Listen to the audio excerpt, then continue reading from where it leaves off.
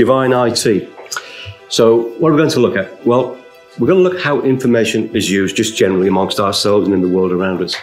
Uh, we're going to look at a bit more in detail what is the nature of information, because that's important as we come to look at the, the Word of God.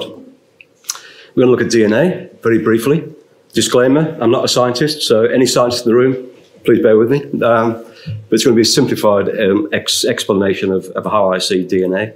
Uh, I want to look at briefly modern science and the evolution of life and how information is dealt uh, from that aspect.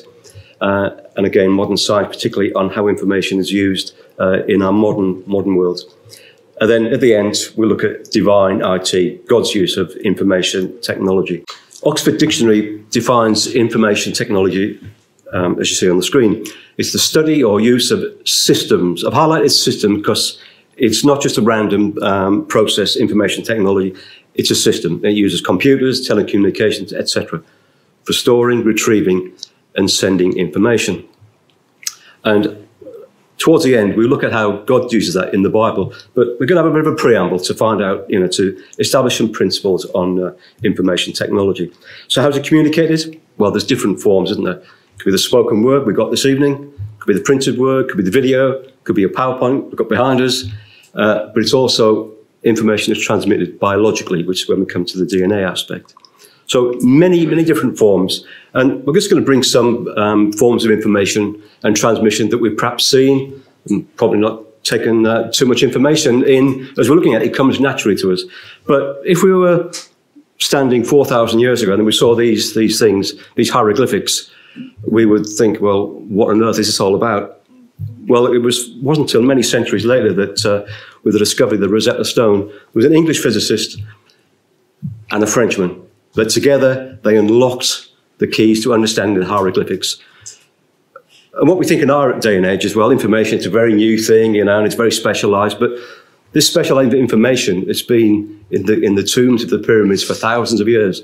And it was clear information for those that understood the code. And that's the point I want to make there. For those that understand the code, that understand the information. So what about in our more modern times? Well, communication was by the Morse code. Um, you might be familiar with that. If you're on a ship and you had no signals, then there'd be semaphore, by the use of flags to communicate between land and shore or other, uh, other vessels. Again, another form of communication. Getting closer to home, signals on a railway line. And then you might have come on the road this morning and you've got, or this evening even, and you've got traffic signals. All information being produced, which we absorb and we understand in different, different ways, don't we? But then we come to computers, which for most of us is a bit of a mystery, isn't it? But it uses a binary code, as symbols of zero and one. In a combination, we get everything we can see. The laptop before you here, it's all working on this code and it works most of the time very well. Um, but nonetheless, it's just another form of information. It's electronic code that produces something which we can digest. So what about the information process? Well, let's, let's just summarize it. We've got the person that is sending some information to us, right? Uh, it might be an author of a book. He writes a book, or she. Hopefully it'll be sold, and the receiver will, will read the book. Now, that presupposes two things. One, that the code that the, that the, that the author is using, i.e. the language, so if it's English language, the receiver would have to understand what that code is. So they get it delivered, comes through from Amazon, say, gets in. Oh, it's not an English translation, it's Swahili. That's not much good to, to the receiver. So you've got to understand the code that's been, that's been written. So in this case, the code will be English language. And for the receiver to receive it, they would have to understand the same code, the English language.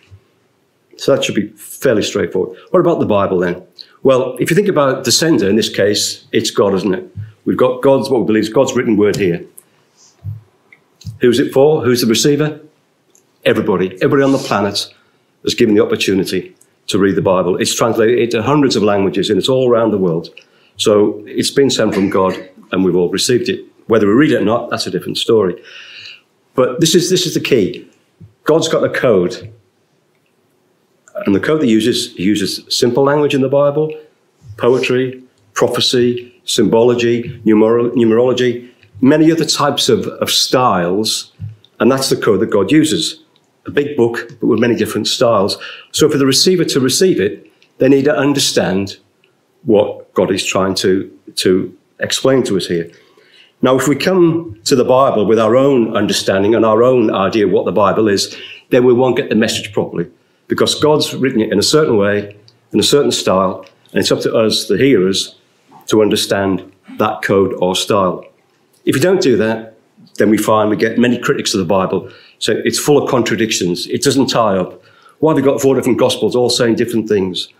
They're saying the same thing, but in a different style. So it's important that we understand the code, if you like, that, that God's using. And we do that just by reading it and comparing scripture with, with scripture. So that's the information process. So what about then the nature of information? Well, is it just a series of, of letters randomly arranged to form information to form a sentence? Is that information? Well, you could read that behind me and it wouldn't make an awful lot of sense. But you could probably recognize the characters. It's from the English alphabet, isn't it? The Roman starred alphabet. All the letters are there, but it's not information, is it? It's just a series of characters.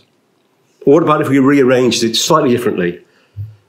Well, you could probably get some idea there that some words perhaps forming together, but it's not really intelligible as it, as it currently stands. So that's not information. What about these then? Now we've got, we've got some words formed by the same characters, we can get some idea of what's been said there, but it doesn't really make a sentence. So really, it's not really true information coming from a sender to a receiver to understand the message. But if we were to change it around just a little bit, we find there that information is always systematically arranged. And we can see that, can't we? Because the first line is not information, neither the, the preceding two. But the last line there, that is information. It's got the same characters, but they're not random. They're put in a certain style, in a certain format, that the message could be read and understood. And that's, that's important for us to understand.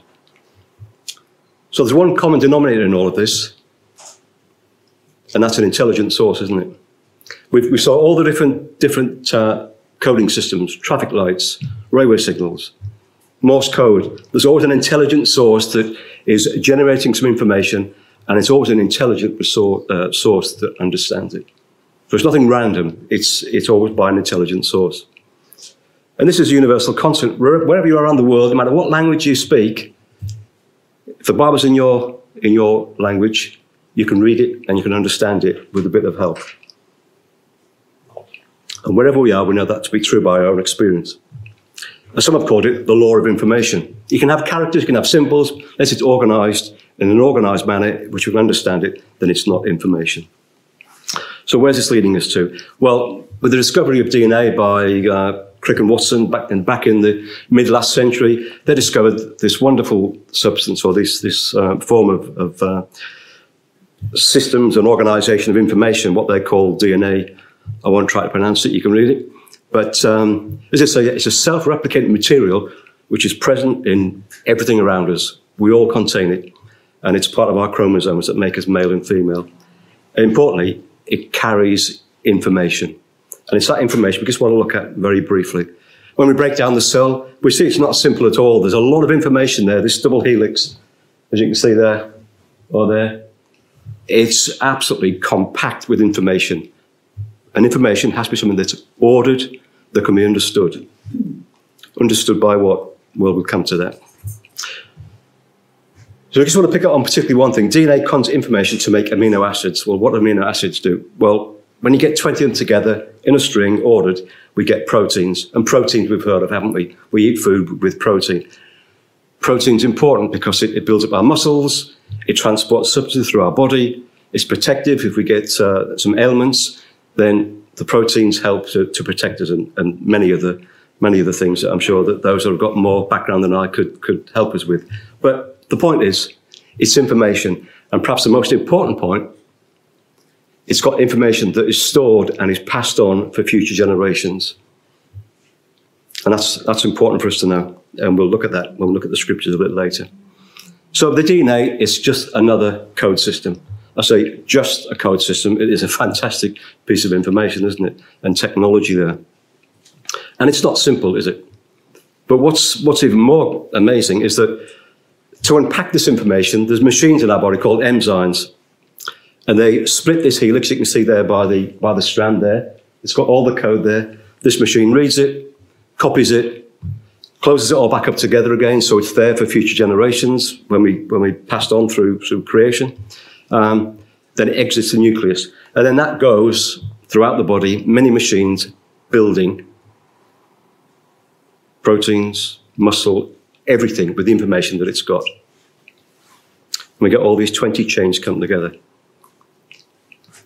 But that's not the end of it. These proteins, they aren't just strung along end to end. These proteins are then folded into a 3D model that forms certain shapes. Without these shapes, it can't find the right part in the body to go to. Because in different parts of the body, there's a different address, if you like, and a certain shape. So unless you've got the certain shape, the proteins won't find its way to the right part of the body. So what we're seeing is that it's not just information, it's actually information to build things. And not just in 2D, but in 3D. In fact, it's even better than that, because you think of a baby in the womb, it grows, doesn't it, in a certain order. So we've got times involved as well. So we're looking at 4D now, 3D for the shape, but you've got to go out into the right time throughout the body at certain times to build, build a human. And that's pretty complex, isn't it? And it's pretty amazing.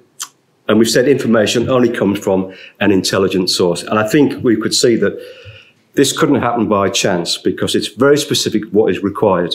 Our DNA sequence there, it's called a genome. There's an estimate that there's 3 billion DNA bases in our genome, in our body. That's a lot of information, isn't it? In fact, a DVD has three gigabytes, and that's probably not even anywhere near touching what's, what's in this DNA that we're looking at.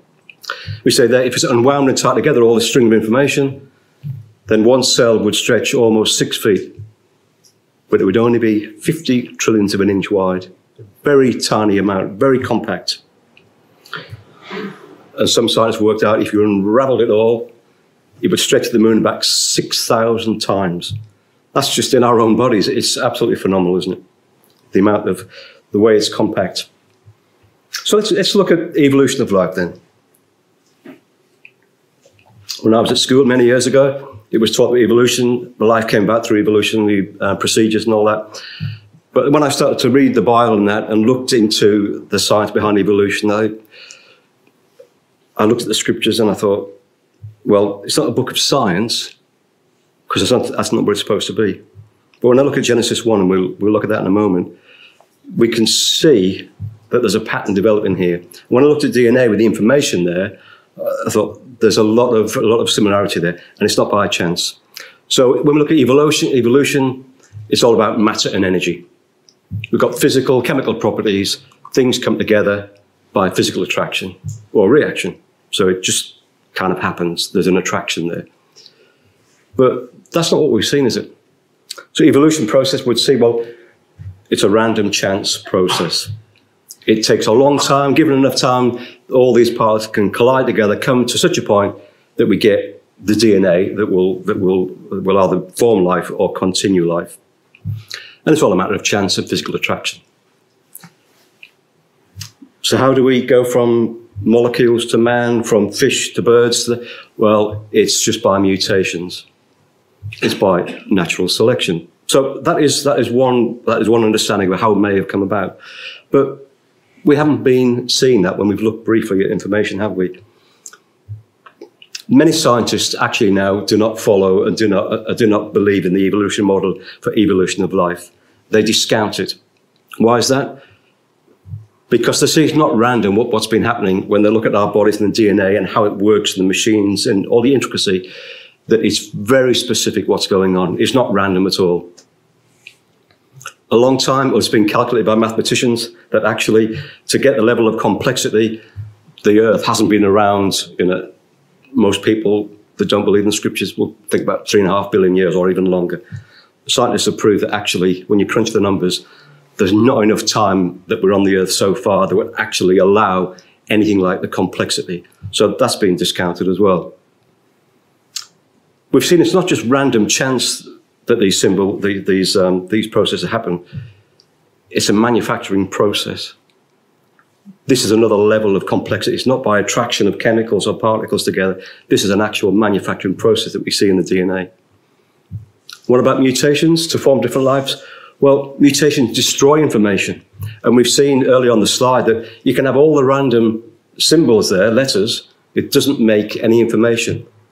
When you get a proper sentence, it makes sense. But you can imagine if that proper sentence was then jumbled up again, which is what really mutations are, then you lose the information. So you don't get better, you get worse things. You don't get a progression of, of man, you actually get a regression. So mutations is a destruction of information, which we've seen is, is really destroy the argument of uh, evolution by, by uh, purely random means.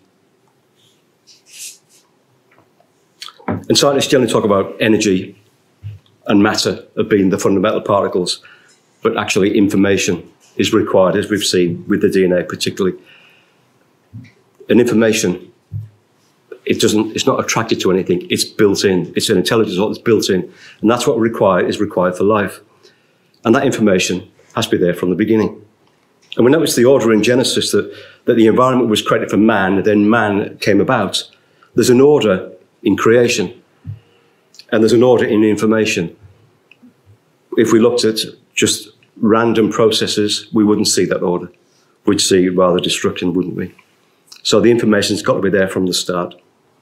A bird's got to be a bird, a fish has got to be a fish for everything to work in order, and a man's got to be a man. So that's led to many scientists, that non-religious, to conclude that actually, when they look at these things, they see intelligent design. They don't believe, particularly in the Bible, but they believe and they can see this intelligent design. We would encourage anybody to go a little bit further and actually say there's an intelligent design by an intelligent designer. So where did the information come from then? Well, we read, didn't we, in the beginning? And we're going to go there now, if you would. So, Genesis chapter 1. In the beginning, God created the heavens and the earth. As I said earlier, many people look at the Bible and say, well, it's very simplistic, isn't it? You know, it's very simplistic. How can we possibly look at science? Look at the things we discovered in DNA. Why do you want to read the Bible? And I just say, well, if you're going to write a book that's going to last for thousands of years for everybody to read, how many could understand a book that was full of formulas and chemical equations? The answer would be none. What about all those people, millions of years ago, thousands of years ago rather, millennia is what I'm trying to say, um, they couldn't understand it until now, and we look at DNA, the Bible will be hidden from them. So the Bible is not a book of science. It tells about God, it's just a historical account. So that would be my explanation if you think, well, the Bible is very simplistic. But it's not. Did you notice the expression as we read through in Genesis chapter 1? Everything was created after his kind, whose seed is in itself. Now, what we've seen with the DNA, that's exactly consistent what God's done. He's created the information contained in the chromosomes, in the DNA, that will form everything that we see around us. It's not a book of science, but we can see, can't we, how God is explaining very complex things that's simple for everybody else to know. And we can see, don't we? You plant a tree, a fruit tree, it gets fruit, it flowers, it seeds, and so on. So it's something that we know. But look at the DNA that goes into all the fruit trees. If you looked at that, it's, it is incredible.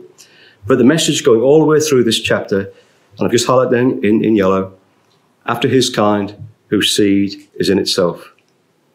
All the way through in yellow. And when God repeats something, particularly, we're asked to note these things. And right in the very beginning, He's telling us that I've created it, created it with perfect order, the information's there, and now science, the wonders of science, we can see how amazing that is that, that God's done. And it just keeps going. Everything has got that information, whether it's birds in the air, fish, whales in the sea, mankind, it's all made in the same manner. No, we don't find species, and we don't find all the all the the, the, uh, the terms that, that scientists have used. But we find when we look at the Hebrew, we find it's just after its sort. Everything is different. A similar process, but it's all different. It's not going from one thing to another. In the creation that God's created, it's all separate, all different entity, for the perfectly good reason that for man to live, he needs water, he needs air, he needs oxygen, needs food. It's got to be in an order, hasn't it? It can't just suddenly develop out of nothing and then suddenly man, man appears or any other living thing. There is a synergy, isn't there, between everything that we look at. But that's the important bit there, isn't it? Each having the ability to replicate. And we've seen how the DNA works. It's copied, but it's put, back together carefully so that the human species, animal species, fish species, they can keep on replicating. A fish still becomes a fish, becomes a fish. A cow becomes a cow. It's still the same thing after its own kind. And that's exactly what, what the Bible is telling us here. It keeps on repeating itself. What about man? Well, God said, let us make man in our image after our likeness. And that's the difference, isn't it? We've got all the animal creation, the animal kingdom, and everything else on it, but man is made differently.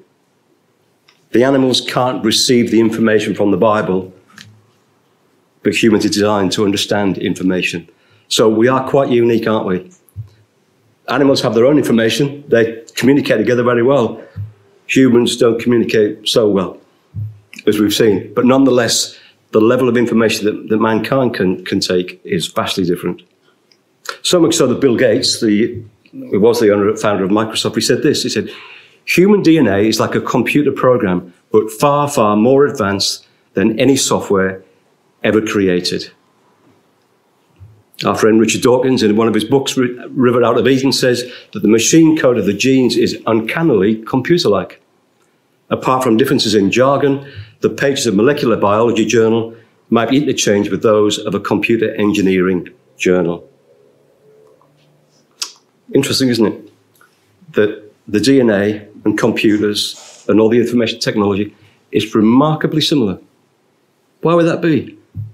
Well, it's no coincidence because man is made in the image of likeness of God. He thinks the same way that God did, not on the same level, clearly. So when God creates something, when we come to do computers, Bill Gates said it's remarkably similar. It's far more detailed in DNA than what we see now. But the computers and the information that's in that is very similar. And even Dawkins recognized that, that it really, this process of information, it is, is un, uncanny like computer process. Now, if you ever put your computer and you get an error, you get the blue screen of death, don't you? What's happened there? Well, that information's been corrupted. So information needs to be in an orderly fashion it doesn't need to be corrupted. That's why we say that, that mutations in information cannot produce anything from something to nothing. It can't do that because the information is broken down. So what does the Bible say about information? Well, one of the prophets, Daniel, he was given this information. He said, Daniel, shut up the words and seal the book until the time of the end. Many shall run to and fro, and knowledge shall be increased. And I think we'd all agree that knowledge has absolutely increased exponentially in the past 20, 30 years. So what's the point of that? Well, what, what Daniel's been told is that there's going to be a time when the kingdom of God will be established. And the time will be when knowledge has greatly increased. And it's always been increasing, but I think we'd probably agree that in this last 20, 30 years, it's increased exponentially, as I said. So that leads us to the conclusion that Paul brings us in Romans 1, chapter 19. Got all the, uh, the quotes on the screen for you. Read these words with what we know about DNA in, in our own bodies, and we've seen, and scientists have shown that it is remarkable the amount of information that's in there and the organization of it. So the Apostle Paul says, That which is known about God is evident within them. And we've seen in DNA, haven't we? that the amount of information that even Bill Gates has realized that this is, this is phenomenal. So we've got the evidence now that Paul in his day never had that. But it's evident within us if we look at it. Evolution does not answer the question of how we come to be where we are and how specialized we are. So God says, For since the creation of the world, his invisible attributes, his eternal power and divine nature have been clearly seen by being understood through what he has made so that they are without excuse. And that's where I found myself when I started looking at the scriptures and believing evolution. I thought hmm, I'm without excuse because this doesn't answer the question, whereas the Bible, it answers the questions. And particularly when we look at DNA, it, it really is, it really is a game changer in that sense, and it was for me. So in conclusion then, we've looked at quite a bit this evening. Well, divine IT, information technology, it's been built in from the beginning. We see it in DNA, and we see it even amongst ourselves, how we communicate with each other. And that's just another witness to God. You put that together with prophecy. We, we touched on Daniel very briefly, but from this platform, many prophecies have come to pass, particularly with Israel being in the land. It's all leading to the kingdom of God coming upon the earth. The nation of Israel, as we said, is a massive witness. Every day in our newspapers, whether you agree with Israel's stance or not, they are God's witness. And there will be a judgment against them, being no doubt we're not a political organization. But God says Israel is a witness. And we've all seen it, we've all been a witness to that. Archaeology, the discoveries that we're finding, again, just confirm exactly what the Bible uh, claims to be a book about God and a historical count. In fact, many archaeologists look to the Bible first before they go looking into uh, any study that they may have. Numerology, we can look at that. The consistency of the scripture from the beginning to end is a marvel in itself, written by many authors over different times. There is an absolute consistency there. And there's a moral code, which you would think, if you believe in evolution, survival of the fittest, why would you have a moral code? But there is a moral code, and people do stick to that. You might say, I don't believe in the Bible, I've got a moral code. I would just say, you made in the image and likeness of God, that's why you've got a moral code. So finally then, a quote there from Isaiah. For thus saith the Lord that created the heavens, God himself that formed the earth and made it. He established it, he created it not in vain. He informed it to be inhabited, formed it rather. I am the Lord and there is none else. The earth will not be destroyed by mankind by a nuclear holocaust. God's got a plan and a purpose. You might say, well, there's chaos at the minute. God has given mankind free will to do what he will to a point.